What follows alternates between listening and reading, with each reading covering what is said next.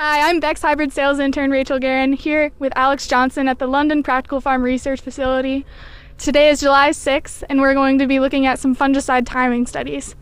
I'm going to pass it over to Alex, and he's going to talk about disease pressure he's been seeing in Ohio cornfields.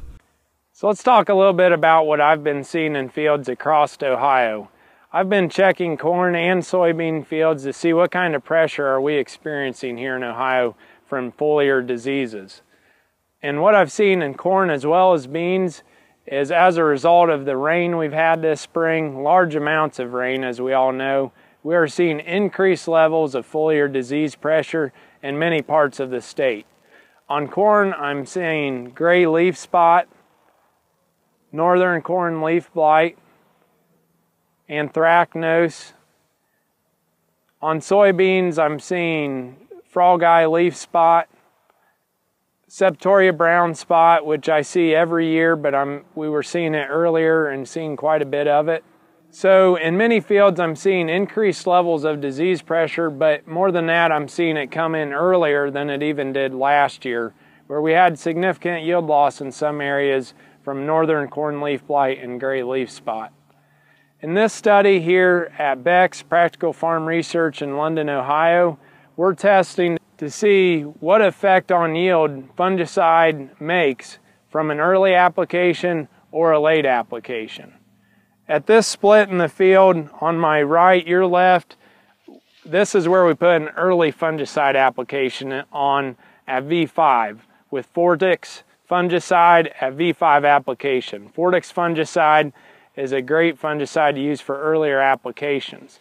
On my left, we haven't yet treated this, but we'll, we'll, we'll uh, spray this with fungicide at tassel time with headline. This is a study we do every year at Beck's to see what kind of effect on yield we get from fungicide. Now let's talk through some of the things that we have to consider as farmers when making the fungicide application decision. This is a decision that must be made based on many factors, but at the end of the day, we gotta make our best guess at whether it'll make us money or not. What are some of the factors that need to go into our fungicide application decision? Number one, let's, let's pinpoint which fields are at a high risk for needing a fungicide application, high risk for disease. Because we have a lot of fields as farmers, let's target that high risk field so we know which one to scout first. So consider your rotation. If it's corn after corn, you're at a higher risk for foliar disease. Number two, tillage.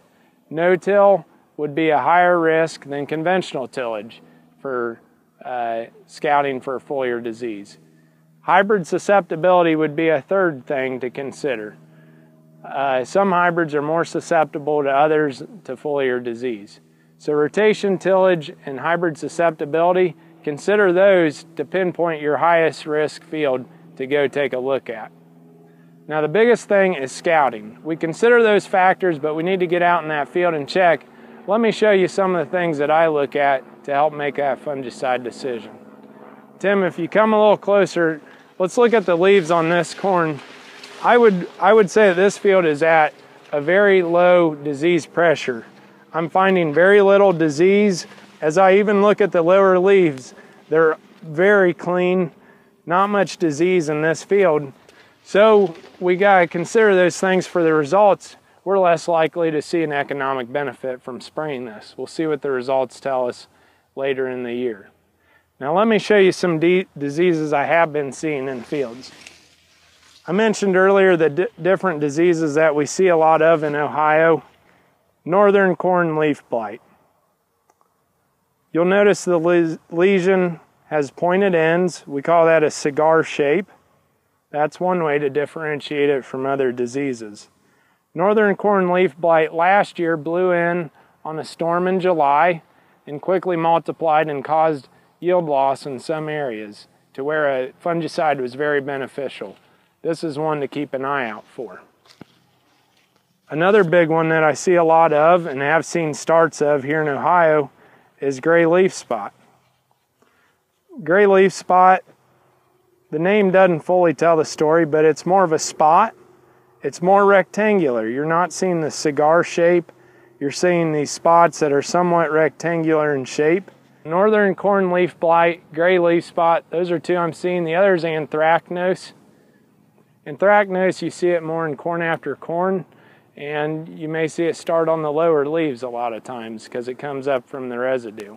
In conclusion, this discussion about foliar diseases here in Ohio, my intent isn't to alarm anyone, but I do want to encourage you. This is a great time to get out in your field. Think about that high risk field that you may have on your farm. Get out and take a look at it, see what kind of pressure you have to help make that decision whether to spray or not. Uh, as a reminder, the best times to apply fungicide in corn, anytime from tassel to brown silk is the optimum time for fungicide. In soybeans, R3, which is when we're starting to see pods on the plant. Most of the beans I've been looking at are R1 to R2 or younger. So we have a little time yet on corn and beans. Uh, our effort here at Beck's PFR is to test these things to help give our customers information on how to make this decision based on economics and agronomics. And that's what we have to do as farmers in an attempt to raise higher yields and farm more profitably.